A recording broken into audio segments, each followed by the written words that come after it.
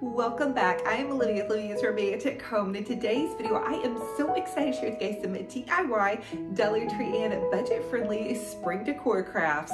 So I love to share with y'all how you can make your home's boutique gorgeous on a budget and I truly believe you do not have to break the bank to have a fabulous, amazing home. Don't forget to subscribe to my YouTube channel, punch the bell and click all. Also follow me on my Olivia's Romantic Home Facebook page where I share daily crafting inspiration with you all.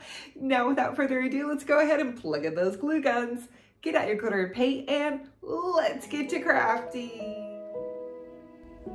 For this Dollar Tree DIY, I want to share with you guys how you can take some of these Dollar Tree wooden cutouts and I'm simply hot gluing them to some pretty paper. I'm going to be adding them to a garland. There's so many different ways you can do this. I also have Mod Podged these before, but I feel like hot gluing them is just a little bit of an easier way. And they come, I believe, 12 to a pack, so you get a lot of bang for your buck on these. They're also great if you're going to be doing um, Um, an Easter tree or you just need some fun little Easter decor pieces and make great garlands. And then again, I am going to share with you guys how I'm going to pick them in to the garland above my front door. So once I had all the eggs hot glued on to the little wooden piece, I'm just going to simply trim them out. And to hang them, you guys can easily take some um, little pieces of wire, string those through the top because they do have little hangers at the top. But you guys could also take some clothespins and hot glue clothespins to the back, which is what I'm going to do. I also found this super cute little pink rickrack um, that I'm going to hot glue around them because I was kind of in a hurry when I was hot gluing them to um, the front of these eggs. Um, so I'm just going to add this in and around and that'll get make sure that the paper doesn't pull up. So I chose a blue and white, kind of like that chinoiserie print, which is really in this year. And if you can see the little bows that going to be using for my garland, there's also blue and white in those bows. I'm trying to add a little bit of the blue and white as an accent color to kind of um, brighten up the pastel look, which I love pastels, you guys. But for my front door, I wanted to have a little bit more of a statement. So I am adding in that pretty navy blue. And my forethought with this is also is once Easter is over, then I can start thinking about, you know, the summer lemon decor. It looks really great with blue and white and also 4th of July. So I'm always thinking about how I can repurpose and reuse my decorations. And now you can see that I'm just going to hot glue some clothespins to the back and that way I can easily clip them into my floral garland.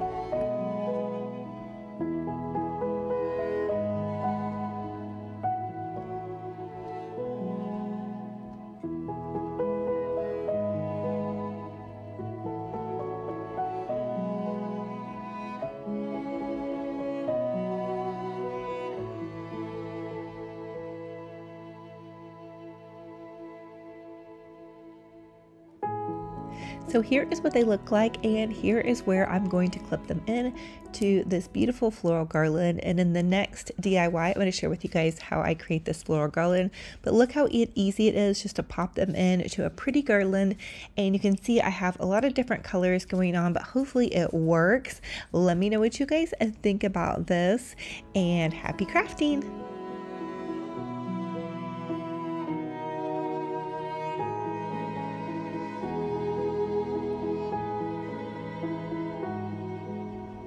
For this next DIY, I'm going to make a beautiful front door garland. So I'm going to take three different garlands and I'm going to zip tie them together.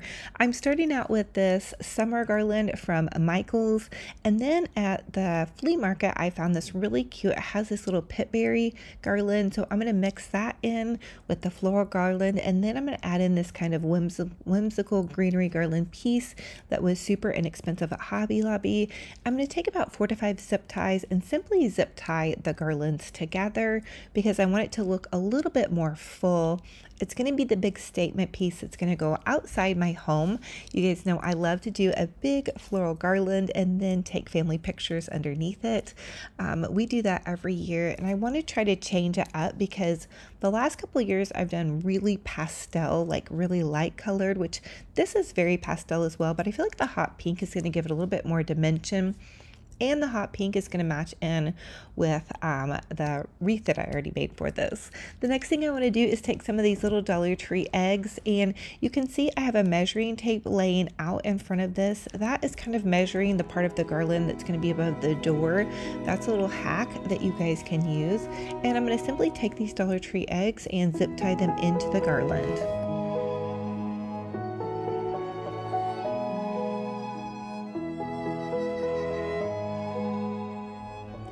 I think these Dollar Tree eggs are so cute and they're looking perfect so far. So here is how it looks. Now I had made a bunch of coffee filter roses.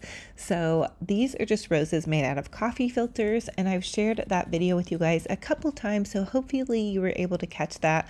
I'll try and repost it on my Facebook um, without being redundant, but I know not everybody gets to see things at certain times. So anyway, I'm using the pink and the blue coffee filter roses. Some of the coffee filter roses I have um, uh, little clothespins on the back of, and then some of them, the purple ones, I'm just hot gluing into the garland um, for time's sake. Um, but these coffee filter roses to do this mini took several hours. I like to put on a show and make them, and I really feel like they look real, really realistic. And because my garland on my front porch is covered, hopefully they'll be okay. The next thing I want to do is create a beautiful bow for my garland. I'm using my Easy Bow Maker because it just makes it so easy. I'm using this blue and white ribbon that I found on Amazon. I love using wired ribbon, highly recommend. And then I'm going to layer on top of that with some of this pretty rose ribbon from Hobby Lobby. I think this rose ribbon is so beautiful. It's very cottage style, and I liked it mixed together with the blue and white because it kind of just adds some dimension and some flair. it might not be for everybody, but I feel like it makes it look a little bit more grown up. Whereas sometimes I feel like when I do too much of the pastels, it looks a little bit too much like a baby room. But don't get me wrong, you guys, I absolutely love all of my pastels. And so here I am. I'm just gonna, I went ahead and just hung my garland on several nails that I nailed onto the outside of my house. And here is the finished look. I painted these topiaries pink and also added some pretty bows to kind of mix in with that. And then in the next video, I'm going to share with you guys how I kind of put everything together.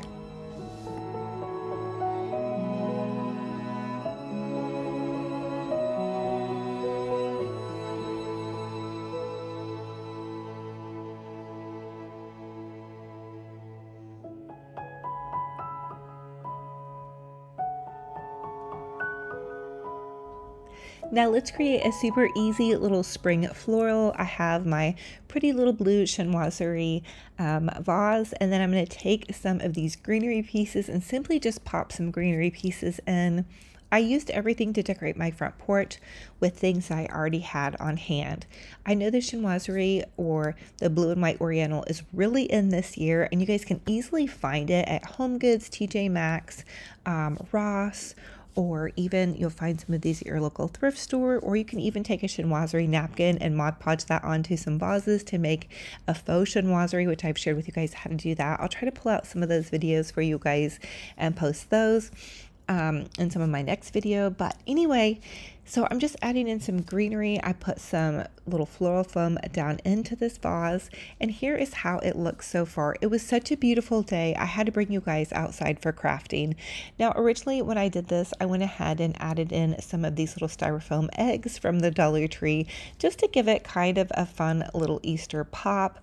I think once I had that done, but I looked at it from far off, I ended up changing it around, but I thought that this was a fun idea. So if you don't want to go all out for decorating for Easter, you guys can easily get some little Dollar Tree eggs on a stake, pop them into whatever floral planters you have on your front porch, and call it good. Easter decorating doesn't have to be hard, but look how cute that is, just adding that little spring pop of color. Now I'm going to decorate my front porch front door. I got this um, mat at Hobby Lobby. I believe it was $9.99. It was really inexpensive. And then I'm going to add in my little pink topiaries. These are simply those green topiaries that I painted a ballet slipper pink.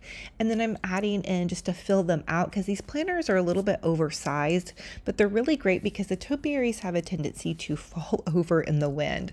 So I just added some greenery in and around that. And these cute little bunnies, I can't remember where I got those. I think I got those a Tuesday Morning before they went out of business. And then the chinoiserie planter and the vase. I thought that looked pretty because it mixes in with the blue and white that I used in the ribbons. So I really like to fill out my front porch. I know this might not be for everybody, but I am more of a maximalist decorator. I like to see all my treasures. So, anyway, I think it's coming out rather nice. Let me know what you guys think. I did end up adding some bows also to uh, the little planters.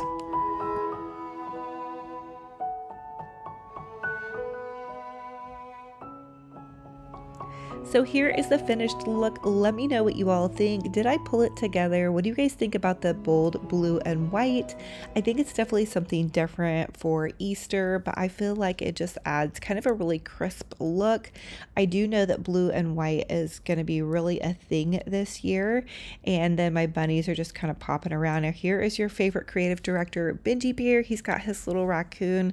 I bought him this toy a couple months ago and he really likes it, but you can hardly tell it's a raccoon because it's been been so played with, and you can tell how playful he is. It was beautiful today. It was about 75 degrees, and I was able to take him for a nice walk up the hill, and he got lots of cuddles and love. He's currently sleeping. Um, He's just such a funny little guy. But say hi to Benji Bear, all his kitty cat and um, puppy dog fans out there. And it's funny because Tinky likes to take a walk. When we go for a walk, she'll kind of walk in and around um, some of the areas. Now, here's one of Benji Bear's homies, his little buddy from down the street. I go, his, this little guy's name, I believe, is Cheech. what a funny name. But he, him and Benji Bear kind of like to like sniff each other and say hi. Benji Bear also has a fun friend up the street named Moses, who's a puppy. I think Cheech, though, is like a puppy dog that's about the same age, but um, it's a older couple that lives on the corner around the corner from us. And then here is Benji Bear just trotting it up. Here is this beautiful white tree that is blooming near my house. And then I have a red bud tree in my front yard, which is also beautiful and starting to bloom. You guys can see.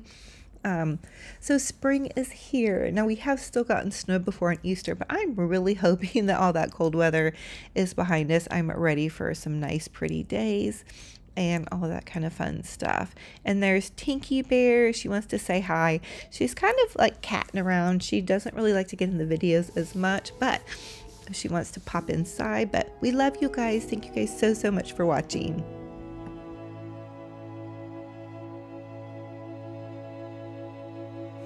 Thank you all so much for joining me on another fun and fabulous crafting and decorating adventure.